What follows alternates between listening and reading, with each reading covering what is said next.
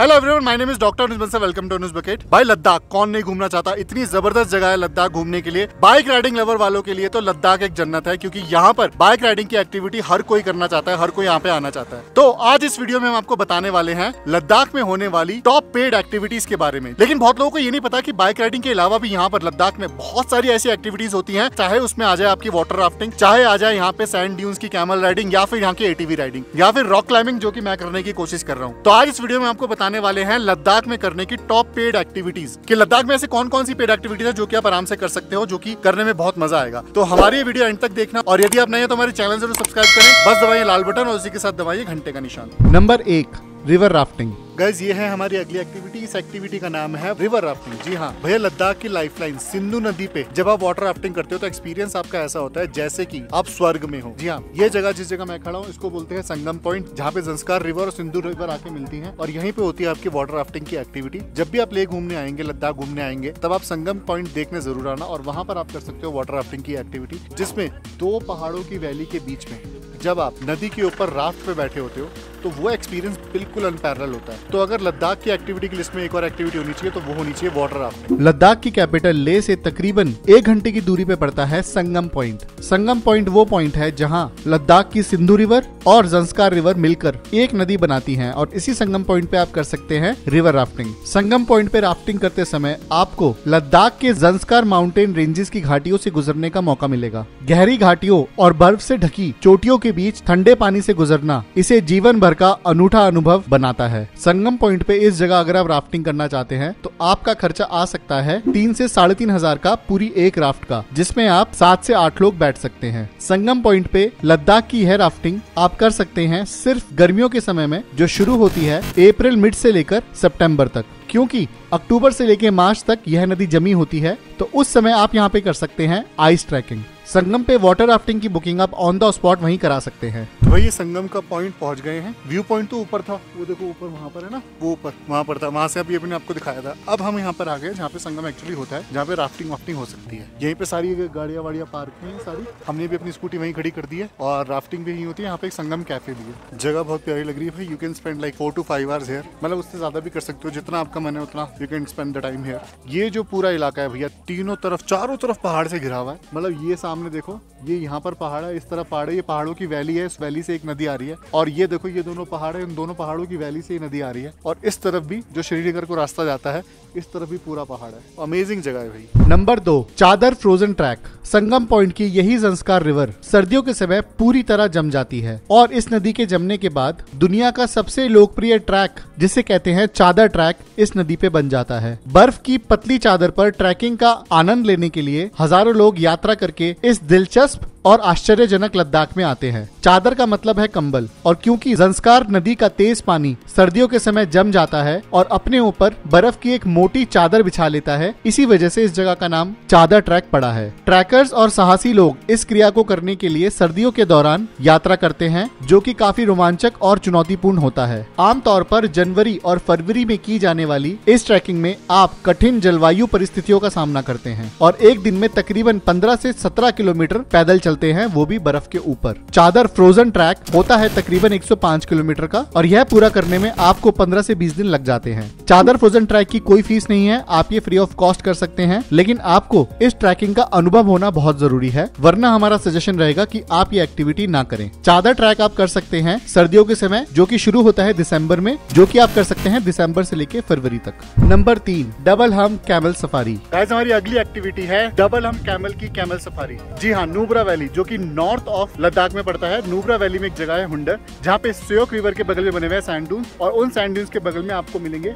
ये डबल हम कैमल्स जहाँ पर आप डबल हम कैमल्स की कैमल सफारी कर सकते हैं। कभी सोचा है की अकेले रेगिस्तान में अगर खो जाओ तो कैसा लगता है? इन डबल हम कैमल हम्स की सफारी में आप ऐसा फील कर सकते हो, बिल्कुल बहुत आसानी से। सिर्फ़ सात सौ रुपए से लेकर चौदह सौ रुपए की ये सफारी होती है, और लद्दाख में नूबरा वैली सफारी के लिए बेस्ट जगह है। So you can definitely do this safari है लद्दाख का कैमल ट्रैकिंग या फिर कैमल सफारी नूबरा घाटी की सबसे मज़ेदार चीज़ों में से एक है। यह भारत का एकमात्र स्थान है, जहाँ पर आपको डबल हम कैमल मिलेंगे और आप कर सकते हैं उन कैमल की राइड करते हुए डेजर्ट सफारी। अगर आप एक असली डेजर्ट सफारी का मज़ा लेना चाहते हैं तो आप लद्दाख के हुंडर एरिया में वहाँ के सैंड ड्यून्स पे डबल एम कैमल राइड ज़रूर करें। लद्दाख की यह कैमल राइड धीरे धीरे पॉपुलर हो रही है यंगस्टर के बीच, क्योंकि लद्दाख में जितने पर्यटक ज़्यादा आ रहे हैं, उतनी ही नॉर्थ लद्दाख की यह जगह काफ़ी ज़्यादा प्रचलित हो रही है। और इस एक्टिविटी को फ़ेमस होने का रीजन ये भी है की आप ये एक्टिविटी पूरे भारत में और कहीं नहीं कर सकते। लद्दाख की डबल एम कैमल राइड आप कर सकते हैं तकरीबन साढ़े सात सौ लेकर पंद्रह सौ में।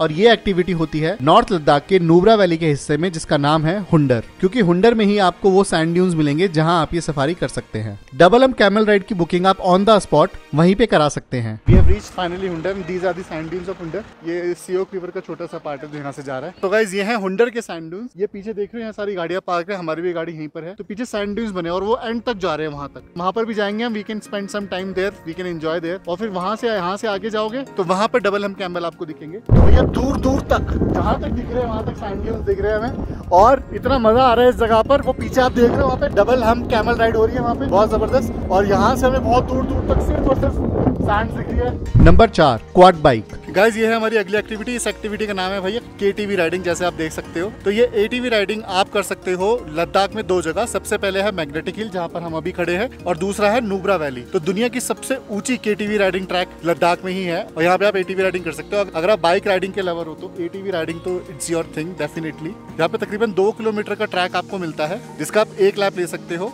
और ये एटीवी राइडिंग भी खुली होती है मई से लेकर सितंबर तक। तो लद्दाख की साफ़ हवा और एटीवी राइडिंग के ट्रैक की धूल में एटीवी चलाना सबसे ज़बरदस्त एक्टिविटी है लद्दाख की। क्वाड बाइक वो बाइक होती है जिसमें दो की जगह चार टायर होते हैं। और यह आजकल के यूथ के बीच एक बहुत ही पॉपुलर एक्टिविटी है। और ये एक्टिविटी आप कर सकते हैं लद्दाख में। जी हाँ लद्दाख की फ़ेमस नूबरा वैली में आप क्वाड बाइक का एक्सपीरियंस कर सकते हैं। यह दुनिया की सबसे ऊँची मोटरेबल रीजन में से एक है। यानी कि यह दुनिया की सबसे ऊँची जगह है जहाँ आप कोई भी व्हीकल चला सकते हैं। और क्वाड बाइक का ये एक्सपीरियंस आपकी एडवेंचर की प्यास पक्का बुझाएगा। लद्दाख में क्वाड बाइक का एक्सपीरियंस आप कर सकते हैं दो जगह पे, जिसमें सबसे पहला है नूबरा वैली में और दूसरा है मैग्नेटिक हिल के पास। लद्दाख की क्वाड बाइक का एक्सपीरियंस एक जने के लिए आपका पड़ सकता है पाँच सौ से हज़ार रूपए का और इसकी बुकिंग आप ऑन द स्पॉट वहीं पर करा सकते हैं। तो भैया, हम आ गए थे पत्थर साहिब गुरुद्वारा से आगे बढ़े तो अब ये जो जगह है, यहाँ पे ये है मैग्नेटिक हिल पॉइंट पे आ चुके हैं। ये मैग्नेटिक हिल पॉइंट की क्या खूबी है, ये पीछे देखो बहुत सारी पार्किंग हो रखी है। और इसके साथ, यहाँ पर आप एटीवी राइड भी कर सकते हो। देखो, मैं दिखाता हूँ। देखो, पीछे दिख रहा है आपको के खड़ी है। ये के राइड कर सकते हो। पूरा यहाँ का ट्रैक बना हुआ है। वो पहाड़ों पे ऊपर ऊपर जा जाके आप कुछ भी कर सकते हो। मतलब बहुत अच्छी राइड हो सकती है जिसको के चलाने का मन है। ट्रैक्स कहाँ कहाँ से? ये है सर ये ट्रैक ये जो वहाँ पे थ्री फ्लैग्स है ये हाँ, हाँ। बहुत रहा है वो ऊपर भी जा सकते हैं?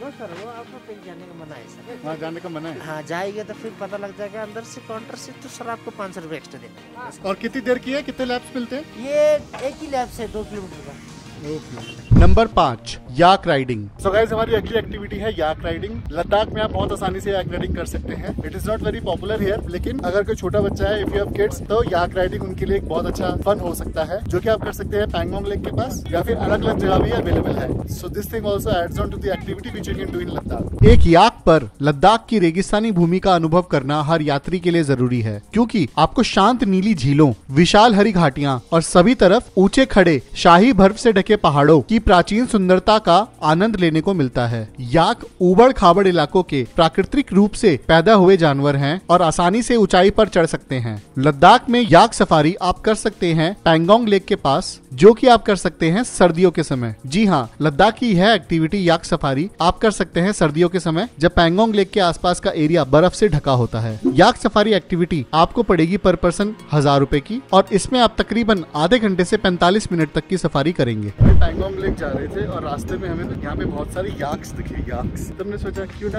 यहाँ पे जाके याक्स के साथ छोटी मोटी वीडियो बनाई जाए, फ़ोटोज़ खींची जाए। तो भाई, पीछे दिख रहे हैं याक्स। एकदम कीचड़ के पानी में मज़े कर रहे हैं। सारे याक्स। खाना पीना भी खा रहे हैं। जो कीचड़ में घास उगती है उसको खाते हैं। यहाँ पर भी है, वहाँ पर भी है। और देखो, बहुत दूर तक भी सारे पैंगोंग लेक के पास वाली जगह है, अभी पैंगोंग लेक आने वाला है। नंबर छह एक्सप्लोरिंग द फ़ूड लद्दाख में आपको ऑलमोस्ट हर कजीन का खाना खाने को मिलेगा। लद्दाख में सबसे ज़्यादा फ़ेमस है यहाँ का Tibetan cuisine Kashmiri cuisine Indian cuisine और एशियन कजीन लद्दाख का खाना तिब्बत के कजीन से सबसे ज़्यादा इन्फ्लुएंस करता है और क्योंकि लद्दाख अब एक बहुत बड़ा पर्यटक स्थल बन चुका है, इसलिए यहाँ पे आपको हर कजीन का खाना खाने को मिलेगा। लद्दाख के कुछ रेस्टोरेंट पूरी इंडिया में बहुत प्रसिद्ध है, जिनमें सबसे पहले आता है नेहा स्नैक्स दिखाता हूँ। ये नेहा स्नैक इतनी छोटी सी जगह है, लेकिन हमेशा फुल रहती है। यहाँ के जो मेन्यू है उसको देखते हैं कि मेन्यू में क्या क्या है। तो जो मेन्यू का है cover it's very classy menu आगे से दिखने में। जब हम इसके आगे बढ़ते हैं फ़र्स्ट पेज पे they all the hot beverages cold beverages and breakfast के लिए बहुत सारे पराठे वराठे हैं इनके पास। Then they have all the South Indian snacks snacks chaats all day long जो स्नैक्स चलते हैं वो। दे हैव थालीज ऑल्सो चार सौ सत्तर तीन सौ अस्सी की थाली।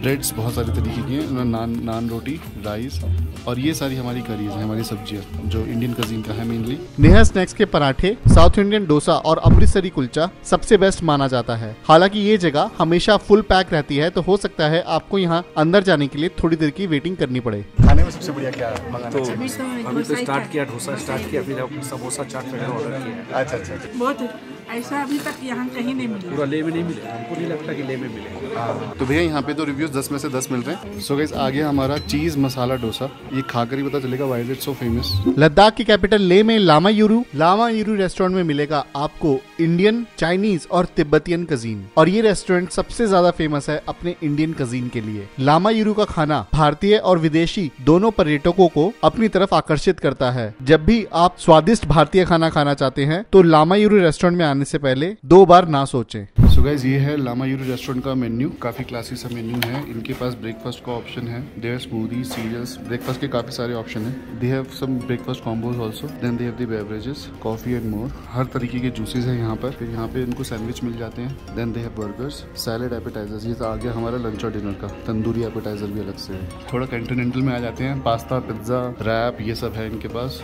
इसराइली फ़ूड भी है। Then they have so guys हमारा ब्रेकफास्ट आ गया है। हमने ये रेगुलर ब्रेकफास्ट और एक लामा रुयू ब्रेकफास्ट ऑर्डर किया जिसमें paratha cheese sandwich cheese omelette and curd आया, इसके साथ कॉफ़ी आई और हमारा आया वाटरमेलन शेक और उसके साथ हमारा चीज़ ऑमलेट ब्रेड बटर और यहाँ पे सॉसेजेस और यहाँ पे थोड़े फ्राइड टमाटोज हैं। और गिज्मो रेस्टोरेंट भी बहुत ज़्यादा फ़ेमस है। क्या आप लद्दाख में ब्रेकफास्ट करने की जगह ढूंढ रहे हैं? तो गिज्मो रेस्टोरेंट आपके लिए बेस्ट ब्रेकफास्ट की जगह बन सकती है। गिज्मो रेस्टोरेंट लद्दाख का एक बहुत ही फ़ेमस रेस्टोरेंट है, जो की एक रेस्टोरेंट होने के साथ साथ एक जर्मन बेकरी भी है। गिज्मो रेस्टोरेंट लद्दाख का सबसे पॉपुलर ईटरी में से एक है। गिज्मो रेस्टोरेंट की सबसे खास है यहाँ की कुकीज केक्स पराठा पिज्जा और momos.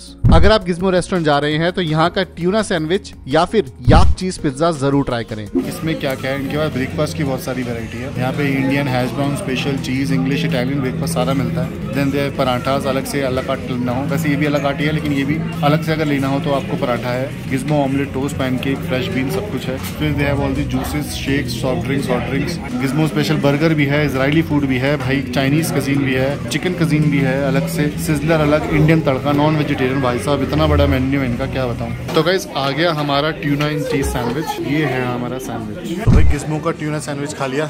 I must say it's a good sandwich अच्छा सैंडविच था बहुत बढ़िया। फ्रेश बिल्कुल। ट्यूना मछली एकदम बिल्कुल फ्रेश थी। और वो इतना हैवी था कि मैं पूरा सैंडविच नहीं खा पाया उसमें। इसलिए मैंने आधा सैंडविच खाया और आधा टेक अवे करा लिया। और अगर आप इटालियन कजीन खाना चाहते हैं तो लद्दाख का ला पियाजीटा रेस्टोरेंट ज़रूर जाए। पूरे लद्दाख का सबसे बेस्ट पिज्जा आपको मिलेगा ला पियाजीता में। ला पियाजीता रेस्टोरेंट स्पेशलाइज्ड है इटालियन फ़ूड सर्व करने में। हालाँकि यहाँ पे आपको इंडियन लद्दाखी और कश्मीरी कजीन भी मिलेगा। ला पियाजीता अपना पिज्जा बनाता है एकदम ऑथेंटिक इटालियन वे में और यहाँ का तंदूर भी उसी हिसाब से बना हुआ है। So guys this is the menu for La Piazzetta pizzeria cafe यहाँ पे ब्रेकफास्ट लंच और डिनर तीनों आते हैं। तीनों के लिए आप आ सकते हैं। इंग्लिश ब्रेकफास्ट भी है इनके पास। देन इंडियन ब्रेकफास्ट भी हो कि आलू पराठा के साथ। Then they have soups okay तो लंच एंड डिनर के लिए they have starters they have Ladakhi cuisine अलग से एकदम, एक इंडियन कजीन अलग से बिल्कुल। ओके यहाँ पे अलग से कश्मीरी कजीन भी है। ठीक है असॉर्टेड इंडियन और Thai food Mexican Israeli chop suey sizzlers बहुत कुछ है भाई। सर आप शायद एकदम ऑथेंटिक इटालियन वे पे पिज्जा बनाते हैं। आपका खुद का मिट्टी का ओवन है ना ये? अच्छा okay thank you sir thank you तो भाई आ गया हमारा पिज्जा। क्या बात है भाई? एकदम गर्मा गर्म पतला क्रस्ट का पिज्जा है। नंबर सात मोनेस्ट्रीज गाइस जो अगली एक्टिविटी आपको लद्दाख में करनी ही करनी है वो है यहाँ की मोनेस्ट्रीज विज़िट करना। Ladakh is a home of more than hundred monasteries यहाँ पे हर प्राइम लोकेशन पे और हर कोने में कोई ना कोई मोनेस्ट्री आपको ज़रूर मिलेगी। तिब्बतियन कल्चर फॉलो करने वाले बुद्धिस्ट मोनेस्ट्रीज लद्दाख में हर जगह स्थित है। और इन मोनेस्ट्रीज की वजह से ही लद्दाख एक बहुत बड़ा तीर्थ स्थान भी माना जाता है। For those who follow Buddhism in monasteries को फॉलो करने वालों ने इन मोनेस्ट्रीज के लिए बहुत जगह कई सारे लैंडमार्क भी बनाए हैं। जैसे कि मेरे पीछे एक लैंडमार्क है जो कि है दिस्कित बुद्धा स्टैचू। ऐसा ही एक लैंडमार्क है शांति स्तूपा जो कि मिलेगा आपको ले में। तो लद्दाख अगर घूमने आ रहे हो तो यहाँ की मोनेस्ट्रीज घूमो, यहाँ के मॉन्क से मिलो, यहाँ की मोनेस्ट्रीज को डिस्कवर करो कि इनकी मोनेस्ट्रीज में होता क्या है मॉन्क्स करते क्या है। And what is so special about this monastery तो अगर लद्दाख आ रहे हो तो एक एक्टिविटी ज़रूर रखना, ये मोनेस्ट्रीज घूमना। लद्दाख घर है सैकड़ों बुद्धिस्ट मोनेस्ट्रीज का। और इस बात में कोई शक नहीं है कि लद्दाख बौद्ध धर्म का एक बहुत ही ज़रूरी तीर्थ स्थल भी है। लद्दाख में आपको सौ साल पुरानी मोनेस्ट्रीज मिलेंगी, जो कि लद्दाख के कोने कोने पे स्थित हैं। और लद्दाख की ये मोनेस्ट्रीज पर्यटकों के द्वारा काफ़ी तादाद में विज़िट की जाती हैं। अगर आप लद्दाख का ट्रिप प्लान कर रहे हैं तो लद्दाख की मोनेस्ट्रीज विज़िट करे बिना आप लद्दाख का ट्रिप पूरा नहीं कर सकते। लद्दाख के ट्रिप में जो सबसे ज़रूरी मोनेस्ट्रीज है, जो आपको विज़िट ज़रूर करनी चाहिए, उनमें से सबसे पहली होगी लद्दाख की कैपिटल ले के पास स्पुतुक मोनेस्ट्री स्पुतुक मोनेस्ट्री लद्दाख की कैपिटल ले से तकरीबन छह किलोमीटर दूर है। स्पितुक मोनेस्ट्री या फिर स्पितुक मठ एक पहाड़ी की चोटी पे स्थित है जिसकी चोटी पर एक काली माता का मंदिर भी है। स्पितुक मोनेस्ट्री से आप पूरा लेह शहर बड़ी आसानी से देख सकते हैं। स्पितुक मोनेस्ट्री में तकरीबन 100 से ज़्यादा मोंग्स रहते हैं और यहाँ पे काली माता की एक बहुत ही बड़ी प्रतिमा भी बनी हुई है। गाइस तो हम पहुँच गए हैं स्पुतुक मोनेस्ट्री और ये मेरे पीछे ऊपर आपको दिख रही है स्पुतुक मोनेस्ट्री अभी चढ़ के हम जाएँगे। लेकिन एक चीज़ मैं आपको दिखाना चाहता हूँ यहाँ से यहाँ से जो व्यू है ना ये पूरा ले सिटी का व्यू है। भाई कहते हैं एक मंत्र है जिसको ना पूरा घुमाने से आपका एक मंत्र कंप्लीट होता है एक बार में। बट होता है। एक बार घुमाना होता है इसको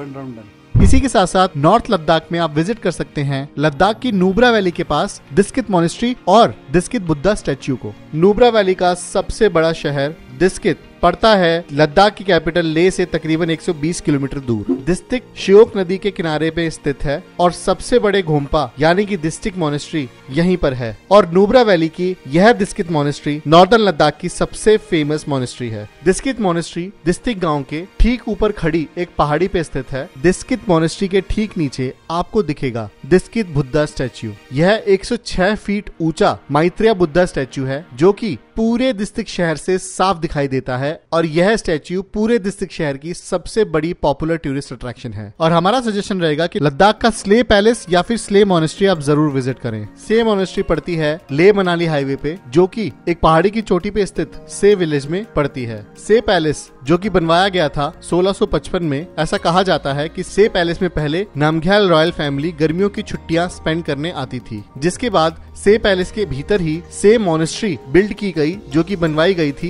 डेलडॉन नमघ्याल द्वारा। इस मोनेस्ट्री में आपको शाक्यामुनि बुद्धा की 40 फीट ऊँची एक प्रतिमा दिखेगी। नंबर आठ जिप लाइन तो गैस ये है हमारी अगली एक्टिविटी इस एक्टिविटी का नाम है zip line the world highest altitude पे जो जिप लाइन है ना, वो है लद्दाख में, जो की एकदम मेरे पीछे है। इसमें क्या होता है, जब भी आप ले से नुमरा वैली घूमने जाएँगे तो दिस्कित नाम की एक पॉपुलर जगह है। दिस्कित आने से पंद्रह मिनट पहले आपको ये जिप लाइन करने का मौका मिल सकता है। जैसे नुमरा वैली के सैंड ड्यून्स और double hump camel ride famous है ऐसे ही यहाँ की जिप लाइन और एटीवी राइडिंग बहुत फ़ेमस है। तो अगर आप लद्दाख आके जिप लाइन करना चाहते हैं तो this is the place for you अगर आपको दुनिया की सबसे ऊँचे एल्टीट्यूड पे बसी जिपलाइन एक्टिविटी करनी है तो आप वो कर सकते हैं सिर्फ़ लद्दाख में। लद्दाख के नॉर्थ पार्ट नूबरा वैली जो की लेह से तकरीबन 150 किलोमीटर दूर पड़ता है, वहाँ आपको मिलेगी लद्दाख की सबसे बड़ी जिपलाइन एक्टिविटी ये एक्टिविटी करने में आपका खर्चा आ सकता है तकरीबन 500 से 800 रुपए तक का, और इस एक्टिविटी को करने में आपको लग सकते हैं 25 से 30 मिनट। नंबर नौ स्कीइंग। सो गाइस अगली एक्टिविटी जो आप लद्दाख में कर सकते हैं, वो स्नोफॉल में स्कीइंग करना। स्कीइंग एक बहुत ही पॉपुलर एक्टिविटी है, जो कि सिर्फ़ स्नो में हो सकती है। स्कीइंग का मतलब स्नो बोर्डिंग मतलब कि आप अपने पाओ में स्कीइंग के पैड्स बाँध के ऊपर से फिसलते हो नीचे तक, या फिर स्की बोर्ड से। वो भी आप लद्दाख में कर सकते हो, लेकिन बहुत स्पेसिफिक टाइम के लिए, जब यहाँ पे बहुत अच्छी बर्फ़ होती है। अगर यहाँ पे कम बर्फ़ है तो यहाँ पे पत्थर इतने हैं कि स्कीइंग की एक्टिविटी रोक दी जाती है, और वो भी बहुत ही स्पेसिफिक जगह पे होती है। बट स्की लवर्स के लिए लद्दाख एक बहुत ही अच्छा डेस्टिनेशन है, और अभी मैं जहाँ उस जगह का नाम है चंगला पास, जहाँ पे स्नो तो है बट स्की एक्टिविटी अभी तक चालू नहीं हुई। लेकिन ski activity is a popular activity in Ladakh अगर आप स्की करना चाहते हो तो लद्दाख आ सकते हैं। लद्दाख की बर्फीली पहाड़ियों पे स्कीइंग करना हर स्कीइंग करने वाले का सपना होता है। लद्दाख एक ऐसी जगह जहाँ पे हाई एल्टीट्यूड की कमी नहीं है, जहाँ की स्लोप ऐसा लगता है जैसे स्कीइंग के लिए ही बनी हो। लद्दाख के ट्रांस हिमालयन माउंटेन्स और वहाँ की ज़बरदस्त ब्यूटी स्कीइंग करने के लिए एक आइडल प्लेस मानी जाती है। सिर्फ़ भारत से ही नहीं, बल्कि दुनिया भर के कोने कोने से लोग लद्दाख आते हैं। यहाँ की स्कीइंग का मज़ा लेने। लद्दाख में स्कीइंग एक्टिविटी की जाती है सर्दियों के समय, जब लद्दाख की ऊँची चोटियाँ बर्फ़ की चादर से ढकी होती हैं, और वही समय सबसे बेस्ट समय है यहाँ पे स्की करने का। लद्दाख में स्की की यह एक्टिविटी आप कर सकते हैं खरदुंगला के पास खरदुंगला रेंजेस में, जहाँ पे आपको पूरे साल बर्फ़ मिलती है। Number 10 camping in Tso Moriri Ladakh के साउथ ईस्ट पार्ट में दुनिया का सबसे ऊँचा लेक है, जिसका नाम है मोरिरी लेक या फिर सो मोरिरी। लद्दाख के सबसे स्पेक्टेकुलर लैंडस्केप भी आपको सो मोरिरी लेक के पास ही मिलेंगे। सो मोरिरी लेक जो कि साल के आठ महीने जमी होती है वहाँ आप कैंपिंग कर सकते हैं सिर्फ़ मई से लेकर सितंबर तक। समुद्र से लगभग 14,830 फीट की ऊंचाई पे पड़ती है भारत की सबसे ऊँची झील जिसका नाम है सो मोरिरी। ले से तकरीबन 240 किलोमीटर दूर सो मोरिरी झील भारत की सबसे ऊँची झीलों में से एक है। यह झील तकरीबन 350 फुट गहरी 19 किलोमीटर लंबी और 3 किलोमीटर चौड़ी है। तिब्बतन भाषा में सो का मतलब होता है झील। इसीलिए पैंगोंग और मोरीरी झील के आगे सो लग जाता है, जिससे इसका पूरा नाम बन जाता है सो मोरीरी, यानी मोरीरी झील। सो मोरीरी झील एक मीठे पानी की झील है, जो कि ज़्यादातर गर्मियों में ही घूमी जाती है, क्योंकि सर्दियों में यह झील भी पूरी तरह जम जाती है। लेकिन ग्रामीण लोग और सेना यहाँ साल भर रहती हैं। झील के किनारे यहाँ के ग्रामीण लोग जौ और आलू की खेती करते हैं। झील के पिघलने से झील का पानी पोषित हो जाता है और इस झील के आसपास का एरिया फर्टिलाइज हो जाता है। सो मुरीरी घूमने का सबसे बेस्ट समय होगा मई से लेके सितंबर तक का, क्योंकि अक्टूबर से लेके अप्रैल तक यह झील जमी हुई होती है। कहते हैं सो मोरीरी झील के पास अगर आप कैंप लगाएँ तो रात को आपको पूरी मिल्की वे गैलेक्सी देखने का मौका मिल सकता है। नंबर ग्यारह मैग्नेटिक हिल इस जगह की खास बात क्या है भाई? सबसे बड़ी खास बात यह है, ये माना जाता है की ये हिल पॉइंट ग्रेविटी को हरा देता है। मतलब ग्रेविटी डिफाइंग हिल पॉइंट है ये। इसमें जो रोड ऊपर जाती हुई लगती है, उस पर अगर आप अपनी गाड़ी खड़ी करेंगे न्यूट्रल में तो ऐसा है की वो गाड़ी ऊपर चढ़ती जाएगी। न्यूट्रल पे नीचे गिरनी चाहिए गाड़ी, नीचे आने के बजाय वो ऊपर चढ़ती जाएगी। और ये रोड पूरी बॉर्डर रोड ऑर्गेनाइजेशन ने बनाई है और उन्होंने इस रोड पे जगह जगह बॉक्सेस बना रखे हैं। यहाँ पे आने की कोई फ़ीस नहीं है फ्री ऑफ़ कॉस्ट एक और बात इस पॉइंट पे, इस पॉइंट के आसपास आप केटीवी राइडिंग भी कर सकते हैं और यहाँ के ट्रैक भी बहुत ज़बरदस्त है।